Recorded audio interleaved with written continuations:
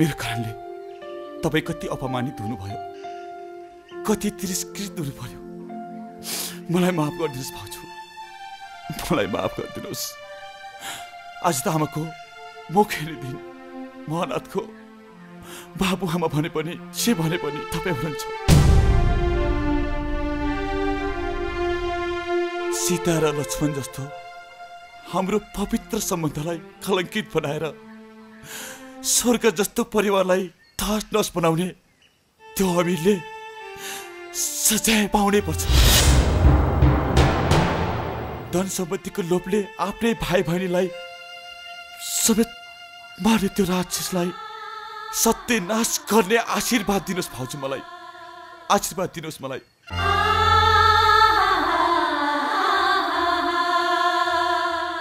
आखिर त्यो राक्षसले हाम्रो घर नै किन रोज्यो? किन कलङ्कित बनायो हामीलाई? अमिर के विदेशहरूसँग मिलेर जाली नोटको कारोबार गर्दो रहेछ? नेपालमा यो कारोबार सजिलो पार्ने उद्देश्यले उसले राजाको बिहे एसियासँग गर्ने प्लान बनाएको रहेछ। उसको यो प्लानमा तपाईँ बाधा भएपछि उसले यो सब षड्यन्त्र रचेको रहेछ।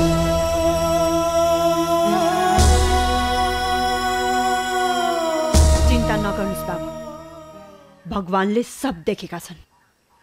को साँचो को झुठो। त्यो राक्षसले यसको सजाय अवश्य पाउनेछ। हाम्रो स्वर्गतुल्य घर परिवारलाई नर्क बनाउने अनि आफ्नै भाइ बहिनीलाई समेत बलि चढाउने त्यो अधर्मीको नाश हुनै पर्छ। अवश्य नाश हुनुपर्छ।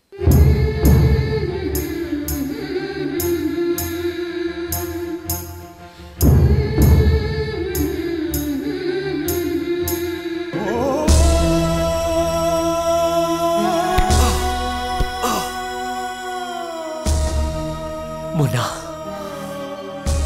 मेरो भाइ जबसम्म त्यो पापीको रगतले आफ्नो पाप धुन्न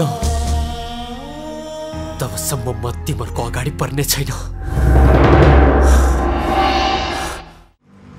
पैसाको कुनै चिन्ता नलिनुहोस्। जति लाग्छ म एरेन्ज गर्छु।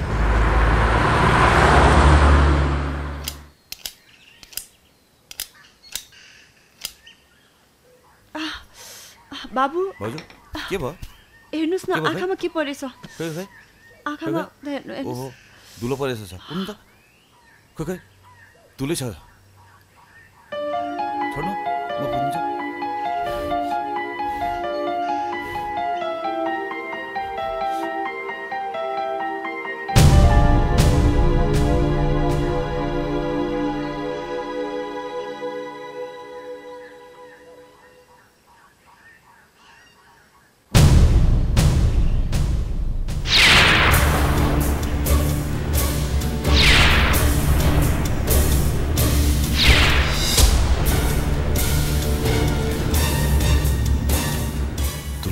गएछ अलि ठिक भयो भाउजू ठिक भयो अलि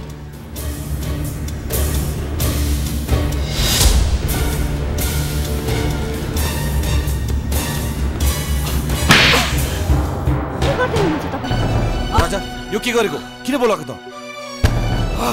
होइन तिमीहरू भन्ने राजा यो आखिर कुरा के हो ड्याडी मम्मी राजालाई के भयो मम्मी राजालाई के भएको छ किन बोल्नु तपाईँहरू अझ लाज लाग्दैन। के भयो भनेर सोध्नलाई तिमीहरूलाई देखेर त मलाई घिन लाग्छ। छि। जान्न चाहन्छु होइन। के भएको? लाएर तिमीहरूको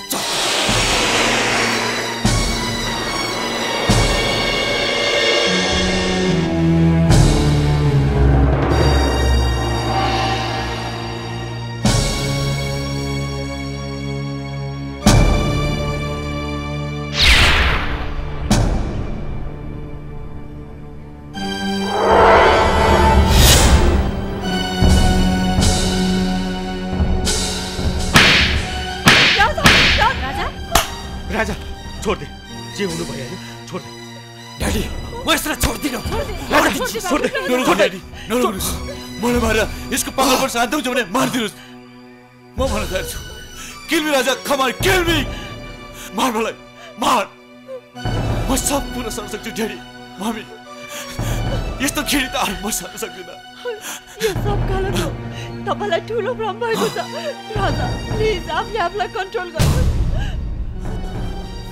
यदि कन्ट्रोलमा रहन्थ्यो भने यो आँखाले यो दिन देख्नु पर्दैन थियो। हामीबाट कुनै भुल भएको छैन। तपाईँ यो फाप नसुन्नुहोस्। बरु साँचो के हो? छुट्याउने प्रयास गर्नुहोस्। प्लिज। तपाईँ भ्रममा हुनुहुन्छ। बस राजा अति भयो। कुनै पनि कुराको सीमा हुन्छ। तैँले त आज सीमा नै पार गरिस्। अब एक शब्द पनि बोलिस् भने राम्रो हुने छैन। म पनि यही खानदानको छोरा हो। मेरो हातमा दही जमेको छैन। म बिर्सने छु त मेरो सदर भनेर तैँले त यो सब छोड्नै पर्छ बाबु। यो घर यो परिवार अनि यो सानो सौकत आखिर तैँले आफ्नो रगतको रङ देखै छाडी छैन? होइन अङ्कल। यसले यो कुरा सबै थाहा पाउनुपर्छ। त के भन्दै थिइस् रे?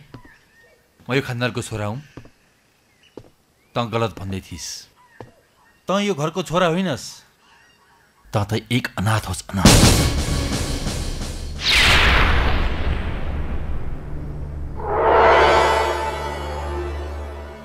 न तेरो बाउको पत्तो छ न आमाको। मूर्ख हुनु त्यो अङ्कल आन्टी। जस्तै जस्तो अनाथलाई आफ्नो नाउँ दिनुभयो। राजालाई भन्दा पनि बढी माया दिनुभयो आखिर तैँले आफ्नो अस्ति रूप देखाइहाल्छ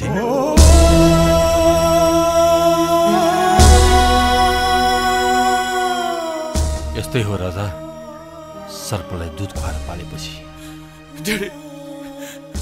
यो हो भनेर यो सब हो भनेर म तपाईँको छोरा हो ड्याडी ड्याडी म तपाईँको छोरा हो। भन्दैन म तेरै भाइ हो। प्लिज म अनाथ होइन ड्याडी प्लिज दाइ प्लिज म अनाथ होइन oh my god oh my God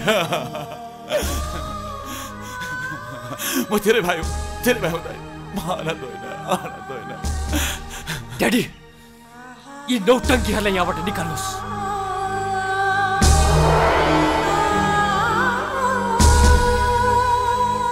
यिनीहरूको बकवास सुन्नु छैन मलाई नत्र म नत्र म पागल हुन्छु पागल